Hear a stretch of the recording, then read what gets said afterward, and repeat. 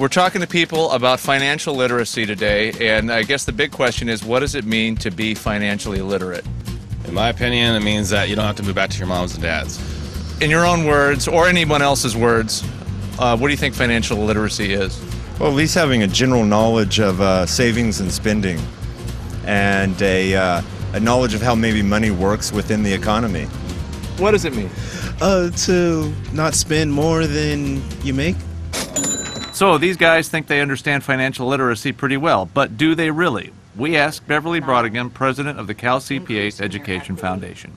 In, in general, I think that a lot of people just aren't responsible about their finances, and they're going to worry about it tomorrow, if ever. Do you spend more than you make? Oh yeah, I don't make that much. So it's easy to spend more than you make for you. well, definitely. What about you? Um, I have to budget and prioritize. I can't go over my limit. Um, I have a monthly sheet that I go by and pay all my bills first, and, and you know break down what I need, what I can spend and cannot spend. So what you're saying is you're some kind of bizarre freak. Are you guys are you savers or spenders? Yes. We're from Cincinnati and we're very conservative. How much money have you spent so far today? Today, probably about 20 bucks. And what did that go for? Something useful and worthwhile, I hope. Um, lunch and a belt. Uh, now, uh, would you say you're a spender or a saver? Spender. A spender. So what do you spend your money on? Um,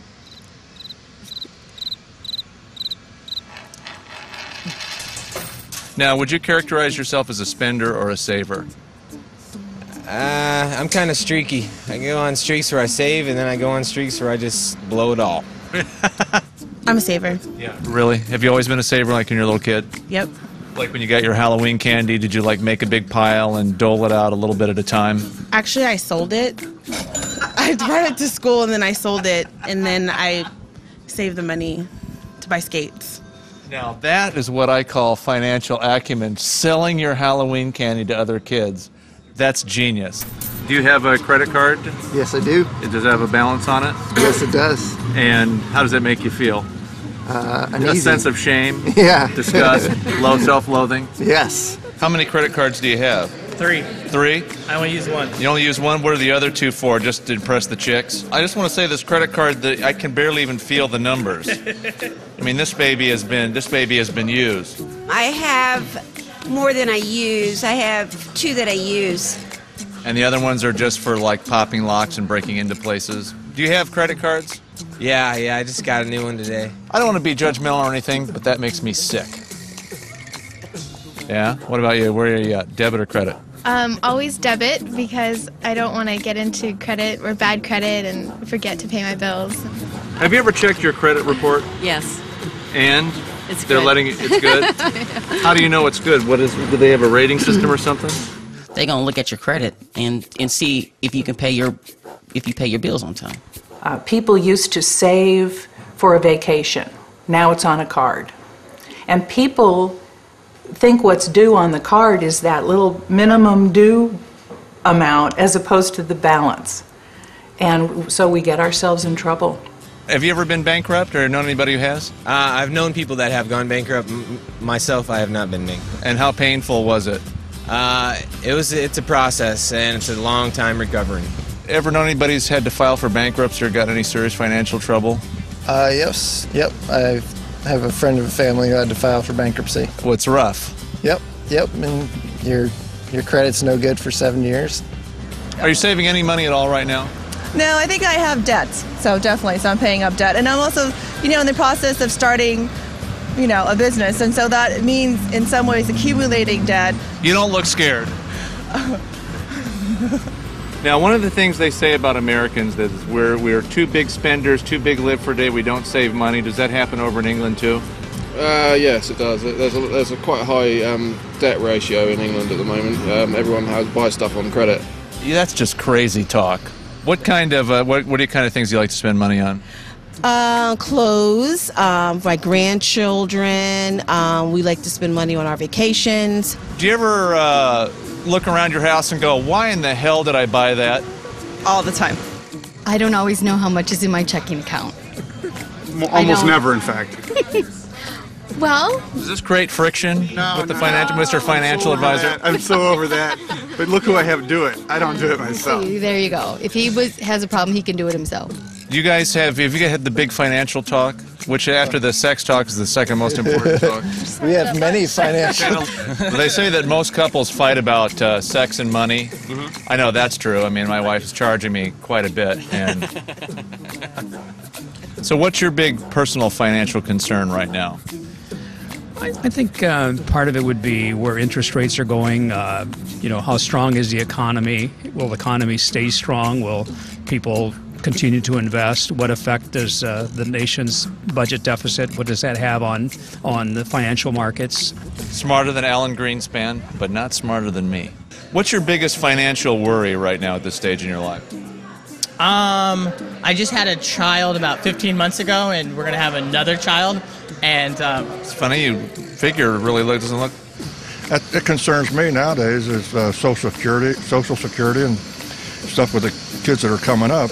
They're saying that's not going to be there for them, and they're not really looking for it. money isn't important to me, you know. I mean, I know that I need it to survive in this society, but I don't like that.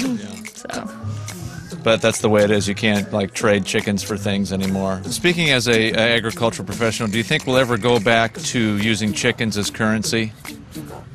What's your biggest financial worry at this stage in your life? Retirement, being able to uh, support my lifestyle as I would uh, like. With the with the gold shoes and all that. yeah. Exactly. So that tells you something right there. I think the fact that we are living longer is going to, in a way, negatively impact the whole financial situation because more savings will be necessary, whether it's in the form of retirement or just personal assets. Do you have any financial goals for yourself? Not really. I kind of think that um, money is overrated. Oh, I guess to own a house, and I own a car, so I'm already there. Be able to support my family, you know, put away for college and stuff like, you know, for my kids' future. Um, you know, put away a nest egg for retirement. Do you have a, you know what my goal is? Is to have a bathroom that's entirely gold plated Trying to be on crib. with a fur floor, like those rap guys have. Uh huh. Are you worried about having enough money for retirement? I mean, I realize you're only 29, but That is a concern, actually. Yeah, yeah. all right. So what what's scarier, thinking about retirement or running into a burning building? Retirement is absolutely more scary because I don't have complete control over it. My my uh, financial plan actually resembles a burning building in some ways. when it comes to financial planning, I think this is the, the tool that everybody needs to be thinking about. First of all, will he have enough money to survive until 50? What is it? Can I predict now. That's how life is, even with the magic eight ball on your side. Do you guys have uh, have to say? Do you have retirement or government pensions over there for when you get too old? We have a state pension, but it's encouraged early at an early age, from sort of 16 to 19 onwards. Really, that you best to take out a private a private pension. How much uh, planning did it take to be able to re- retire when you did? Well, I started planning my uh, pension when I was 19. I'm now 63. Uh, are you saving any money for uh, retirement or for the baby or for any reason at all? Um, I'm saving money in a 401k. And what is a 401k? I don't know. People tend to live for today and not think of a long-term uh, effect. I'd rather have the money today so I can have more goodies, more toys, than worry about how I'm going to survive in retirement. All right. Well, I want to. Uh, one last question. What's your most important piece of financial advice for other young persons out there? Uh, put away as much as you can in deferred comp. Always pay your bills on time. That's the biggest thing. You just save your money, don't get credit cards. Pay off your debts. How much money would you say you have on you right now? Can I have five dollars? I'm a little sure. I'm not doing that well. I'm more of a spender.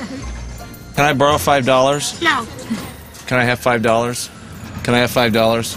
Uh, no. I really do need that five dollars. Do you take credit cards?